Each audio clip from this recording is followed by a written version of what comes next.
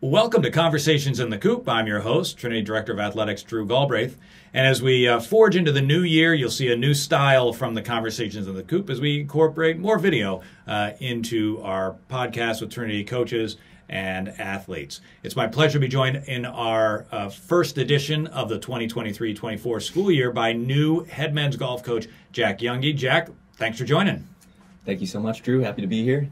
So, uh, Jack, we're going to not only recap your, your career at Trinity, get a little little thought about where the program's going, uh, but just start us off. You've now had a summer under your belt as the head coach of Trinity Men's Golf. Uh, how's it going so far?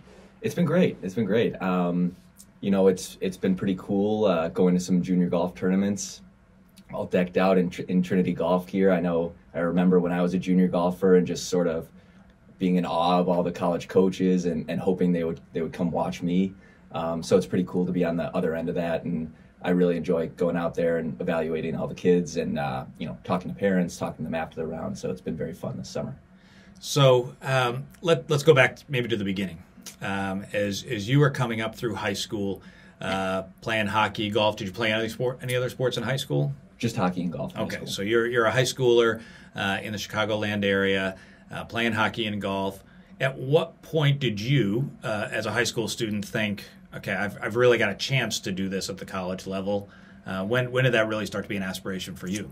Well, for golf, um, you know, I think fortunately I, I, just sort of was talented from the start, um, and I always had dreams of, you know, playing on the PGA Tour one day, maybe playing Division One golf. Uh, I know, like back when I was an eighth grader and or freshman in high school, I was you know, wearing college college hats like Wake Forest or UNC, thinking I was gonna play there. Um, and then uh, as it, as my golf career went on, you know, I, I grew like seven or eight inches in, in, going from my sophomore to junior year of high school, um, and that really messed up my golf swing. So I was I was down in the dumps for a long time, uh, shooting a lot of rounds in the high 80s. So I think that sort of changed my perspective, changed um, the path that I was going to take in college. Um, but you know, fortunately, when my golf game was struggling, my hockey career was um, going very well. So, uh, you know, I would go sort of from season to season, and you know, even if the if my golf wasn't great, then I knew I, you know, could go to hockey practice later that night and just sort of get out of my head with that and and uh, be involved with a different team, different sport.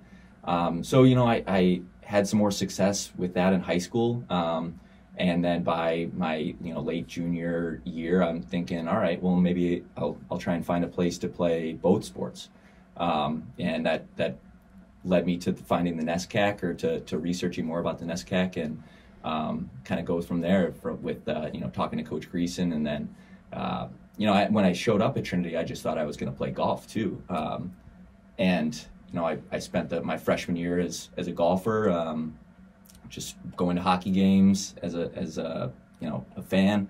And as I got to know Coach Greason better, uh, I remember later in the spring of my freshman year, he was like, you know, how about uh, you come out to some hockey practices next year? And I was all about it, uh, anything to be part of the team there. So that was a very cool experience. So, Jack, you come from a very uh, sporting family, uh, if you will. So, um, did you feel maybe confident that, yeah, just given the background of my family, like I've got a chance to make this happen?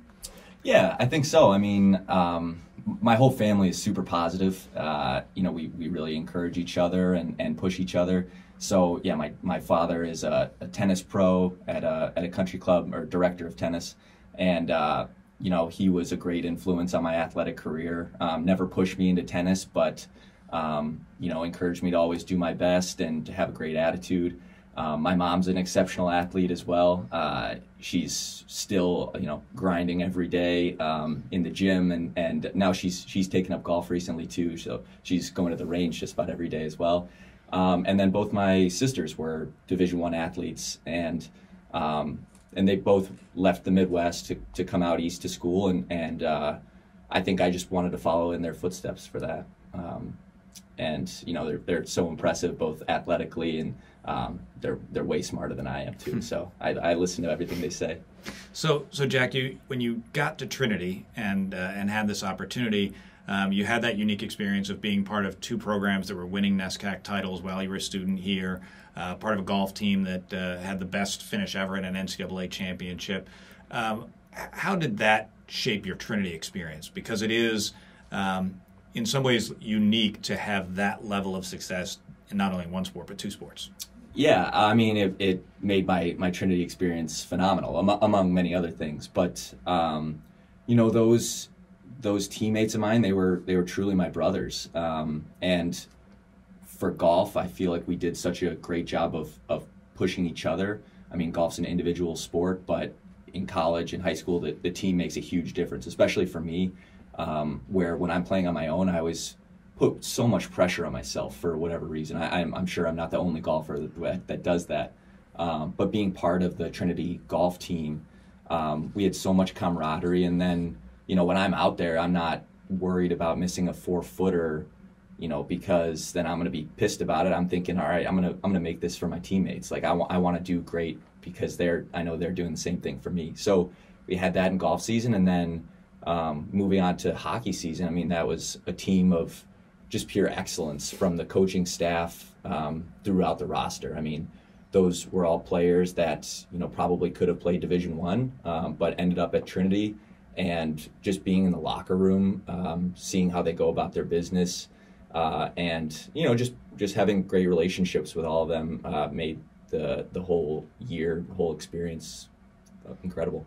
When you were a student at Trinity, did you take anything kind of back and forth, just in terms of maybe some of the uh, you know, hockey is a, a, grind of a season. It's it's the longest season we sponsor uh, mm-hmm. Trinity, so there's just a lot going on in a hockey season. So comparing that to golf, which is just about kind of maintaining the even keel. There aren't the hopefully there aren't the highs and lows um, that take you out of your game. So were there things that you found yourself doing that might have been a result of being on that other team?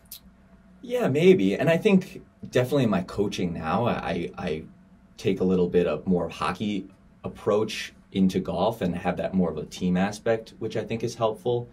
Um, I'm sorry, can you repeat that question? Well, just more around, you know, was, were there things that you took back and forth? Oh, yeah. I mean, I think being a goalie and a golfer are, are actually more similar than, than people may imagine. I mean, the, it's the mindset you you need to have is is the same in both. Like if I if I make a double bogey, I need to brush that off quickly before the next tee shot. In the same way, if I let in a you know a bad goal from the from the blue line, um, you know I got to pull that puck out of the net and get ready for the next shot. So, so Jack, as you, you wrap up at Trinity, you have an opportunity to stay on as an assistant golf coach and helping out the hockey programs. Uh, spent a year as the uh, women's golf coach uh, when when we as a department were in a pinch, and then um, this year uh, as we uh, elevated the men's golf coach to a full time role, um, you had the opportunity to step into that role. Uh, so now the last eight years you spent at Trinity, this will be year number nine in a row for you at Trinity. Um, what would you say? What what kind of keeps you here? What makes it so um, so rewarding for you to stay at a place like Trinity? It's the people here at Trinity. I mean, from my teammates, uh, my professors, and other classmates during my time as an undergrad. Uh, I made so many so many great relationships, and then throughout my coaching career, it's the same way. I've you know developed a lot of friendships with other coaches, um, while still being able to you know have great relationships with students and and then I, have learned so much about myself, about coaching over the last four years, um, because I've been involved in so many different things. Um, which has been you know good and bad. Sometimes I wish I could just focus on one, but uh, you know I, I know I wouldn't be in the place I am today if it wasn't for you know spending my years as an assist, a men's assistant, um, coaching the goalies on the women's hockey team, and you know doing the laundry for the hockey programs. Like I, I feel like I've I've put in the work. I paid my dues to to get to where I am, and and I'm not saying the college owes me anything. Um, but you know, it's just it's so special being part of my alma mater, and and uh, I'm I'm so looking forward to the the future of the Trinity golf team. So as you when you talk to a prospective student, um, I'm sure you know one of the easy things to say if they if they haven't read your bio. Hopefully they have if they're having a conversation with the head coach. But if they haven't read your bio, how quickly does it come up that yeah I've lived this experience and it's pretty special? Usually pretty quickly. You know, uh, I think you can at least if you're a recruit, you can probably tell pretty quickly how passionate I am about Trinity. And I always say, like, I'm, I'm biased, but, um, you know, I could go on and on talking about all the great things that Trinity has to offer, um, from the academics to the athletics to social life.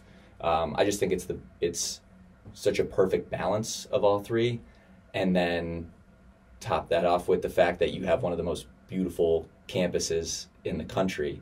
Um, and I mean, when I whenever I'm walking around by myself, you know, maybe up to lunch or walking around with a recruit, like I, I never get sick of seeing the chapel, seeing the quad, um, thinking about all the amazing memories I have with with my with my friends here. So um, I feel like when I when I talk to them, they can they can just feel the passion I have. What was the reaction when you got hired as the as the head coach this summer? Um, I know many of your teammates that you played with were uh, certainly very uh, interested in what was going to happen with the search. What was their reaction? Um, so you you know you obviously have um, some of your classmates who are getting ready for their fifth reunion, their first big reunion at Trinity uh, coming up next spring. What was their reaction, or the, some of the other uh, students you played with here?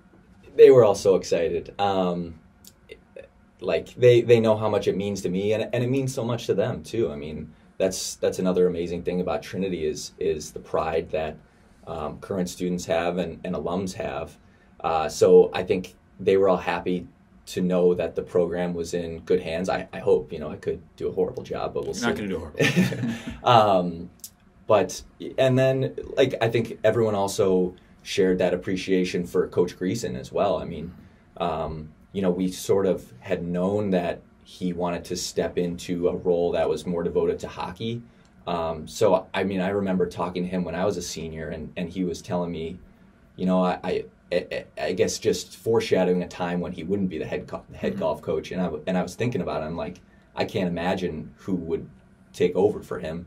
Um, so I think everyone was happy that uh, it's it's a person that uh, you know cares a ton about Trinity Golf and and wants to be great too. I mean, I, I would I would love to bring a national championship to Hartford in the same way that Coach Greason did with the hockey program. So that's so, my goal. So talk. You, have you've, you've mentioned a couple of uh, people who I think you would probably count as mentors or, or major influences on your life. Your, your parents, uh, Coach Greason. Who are those mentors for you? Who are the people that have helped shape you into the you know the professional you are today?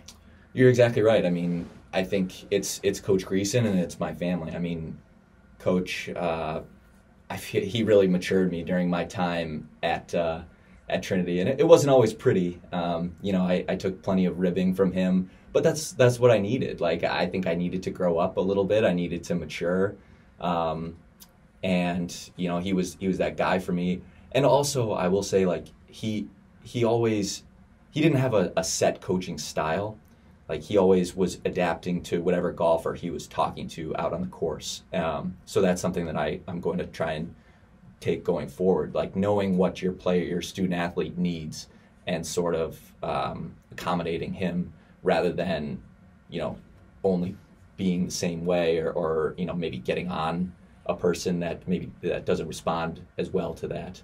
Um, so he was, you know, huge and, and also getting me into this role I, I'm, I'm in now and then uh, yeah, my my parents, uh, my my father, like I think he's he's the most wise, patient man in in the world, uh, and he's an amazing tennis teacher as well. I, uh, what sets him apart is his ability to um, sort of change change the words of, of whatever lesson he's giving if if someone's not quite uh, understanding. So just having a lot of different ways to say the same thing until that student finally um, understands what what he's trying to teach. Um, my mom is is kind of a social chameleon. I mean, she's she, everyone loves my mom, uh, and I, you know, she's she's got a great sense of humor. Um, so I try and emulate that, and and uh, you know, be a person that everyone wants to be around. And then my sisters as well. Uh, they're both super hardworking, uh, very very smart, really thoughtful and creative. Um, and they also just they just get the job done too. I mean, I, I'm a bit of a procrastinator, and, and they like get on me for that. I mean, they'll uh, if they've they've are the, the queens of to do lists. Like they uh, they just knock tasks tasks out and uh, and take care of business. So it's when we're all together, it's uh, it's a pretty pretty fun family dynamic. Uh, did you get a chance? You know, part of your role is also as a uh, as a faculty member in the PE department, and so part of your title is assistant professor. Have you thrown that in your sisters' faces yet? Yes, along with my Okay. masters as well. You know, Yeah. I think my masters from Trinity is a lot better than than Jesse's undergrad at Dartmouth. All right, so good. I'm glad it's. I'm glad you're using that to you, to your benefit. So, um, and you, you talked a lot there about situational leadership, and uh, which I think is really kind of telling, particularly in an individual sport like golf, where uh, it's it's truly the only sport uh, that we have where there's truly no one else uh, that's going to impact you. Maybe you could talk about something like a uh, like a thrower in track and field, where it's really only them against the distance. Um, but in golf, it's four if you're lucky four hours, but four and a half hours, and it's you and your ball. And you may have people that you're playing with in the round who are also competing for score, but what they do has no bearing on on what you do. So, how do you how do you find ways to connect with each golfer, and what have you found uh, in your career have been the best ways to um, you know to help people through that process of you know going up and just focusing on yourself and not worrying about what everybody else is doing. Yeah, and and first of all, the college golf is probably closer to five and a half, six hour Yeah. rounds. So that's a that's a long, long time of trying to maintain your focus and concentration. Um, and I guess for that, I, you can't. There's there's no one way that's going to fit each player out there. Some some players are are super serious on the course, and you know they're not talking to their playing partners. Uh, and then there's the opposite. You have the the extreme extroverts who are making friends on the first tee and they're they're chatting the whole time. So I think you need to stick with your personality type. Like I always say, um, you know, if, if you're one of those extroverts that talks a lot, and then you know you have a few bad holes and you start being going silent, like that's when things are going to start to spiral for you. So you need to keep that conversation up uh, to avoid putting yourself in a stressful environment.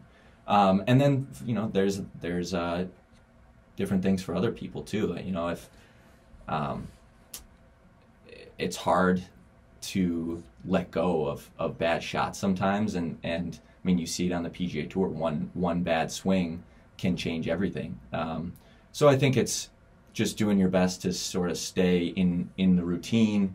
Um, and you know you, you have the same mindset you do on the first hole as you do on the 18th you, you need to have good focus a good attitude um, you know whatever that that means for you you know i'm not saying obviously i don't want anyone throwing clubs but if you need to to get some anger out uh, in order to get back to to playing your best golf then then go for it uh, personally i'm a little more stoic uh, but it, it you know it's different for everyone How, how quickly, when you're, uh, the, we've got a, some first year golfers starting in a few weeks, how quickly do you get to learn their style so that um, when you're walking the course, you can be, there are some players you, you know just to leave them alone, or are you somebody who every couple of holes needs, you know, just, just a few words just to keep that focus? How quickly do you learn that?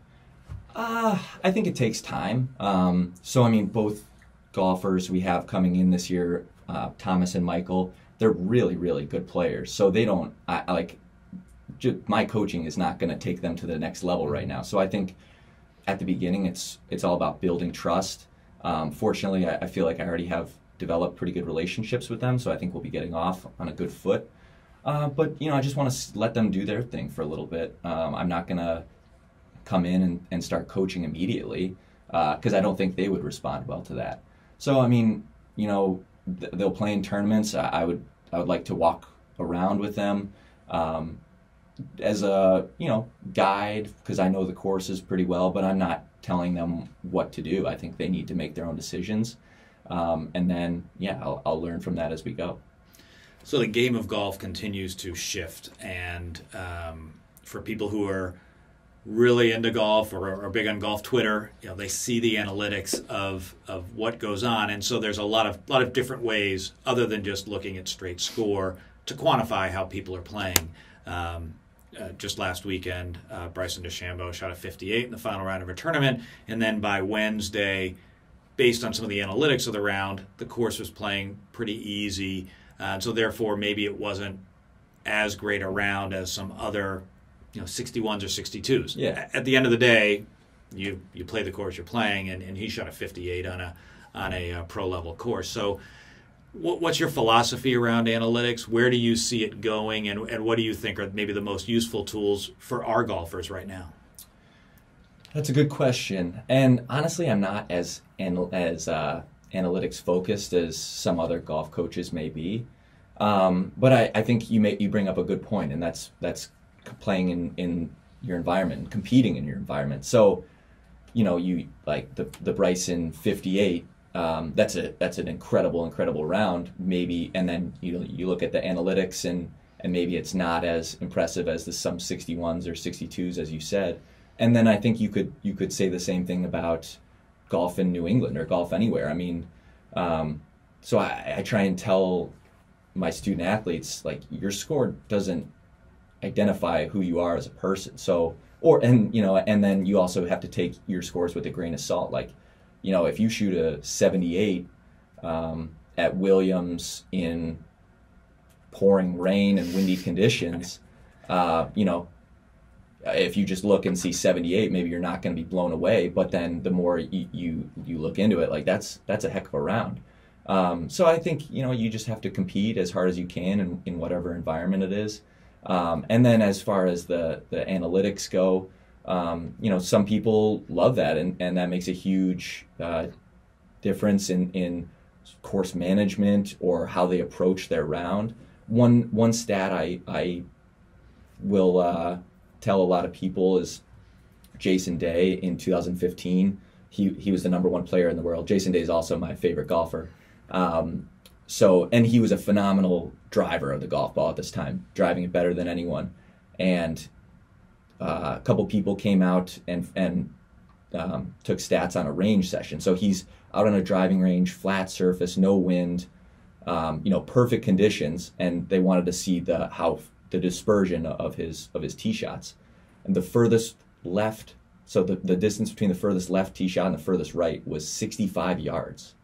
Like that's a huge number. That's for for the best golfer and at the time, and you know, you have 10 handicaps out here thinking that they're going to hit the mid center of the fairway every time and getting mad at themselves for, for hitting bad tee shots or, or bad shots. Like, it's going to happen. You need, so I, I think for me, the, the analytics and stats help me manage my expectations. So, you know, if, if I miss a six foot putt, I'm not saying, oh, you know, I should have had that and I'm, you know, letting that derail my round. I'll say, no, you know what? even the tour pros miss that 50% of the time, or maybe it's eight feet, they miss it 50% right. of the time. Um, so, you know, you have to take that with a grain of salt, and I think that that sort of helps you keep a better attitude throughout the round. Is there any one piece that you do find pretty useful? Uh, whether it's you know swing speed, spin rate, anything like that, or or is it all kind of they're just data points and they can be helpful, but they can also take you down paths that aren't really helpful. Yeah, you know, so we have a, a TrackMan at Trinity, which is a huge resource and can help you get a lot better. Um, and it shows all of your numbers, so you know, swing speed, uh, spin, everything, anything you would you would possibly want to know.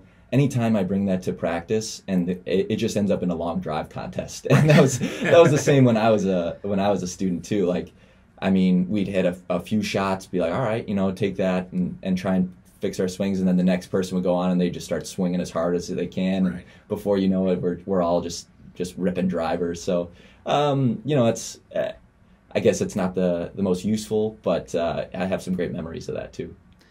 And so, uh, bringing it back to Trinity, Jack, um, you you have such a unique experience at Trinity, and you can speak from experience to almost I would imagine almost any question a student might ask, other than, you know, did you take this one particular course? No, I didn't, and I don't know anybody who has. But other than that, you've lived this experience uh, as a student athlete, as a coach, um, and a, an alum.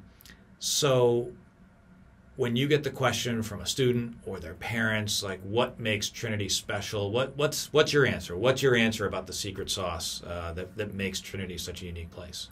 Yeah, I, I, could I could go a lot of different ways, um, and I usually sort of will tailor it to the recruit or uh, or whoever I'm talking to. But I, I think at the end of the day, it's it's just the people. Um, you know, I've I've met some incredible friends through my Trinity experience, uh, and and I think what all brings us together is the the Trinity pride and the passion we had we have now um, for for the current bantams and, and what we had when we were playing. Uh, so I think just having that um, you know shared experience is is so special, and then just you know I think the location where we are too. Um, you know the campus uh, and uh, you know everything that comes with it. So I, you know I, I, I could go like I said I could go a lot of different ways, but for me that's that's what I what I carry with the most. I mean I just I just got back from a trip uh, with some Trinity hockey teammates, uh, and we had the best time. I mean, they they want to know like what's going on at Trinity now, and then you know we're talking about all of our um, great times together too. So it was it was very cool. Jax, thanks. We wish you best of luck this season. It gets going uh, right after the start of classes, and you'll uh, uh, bunch of tournaments in the fall, and then the championship season in the spring. So best of luck. Thanks, Drew. Want to thank Jack Junge for joining us on this conversation in the coop. Uh, for all the latest Trinity news, scores, schedules, go to bantamsports.com. Until next time, this is Conversations in the Coop.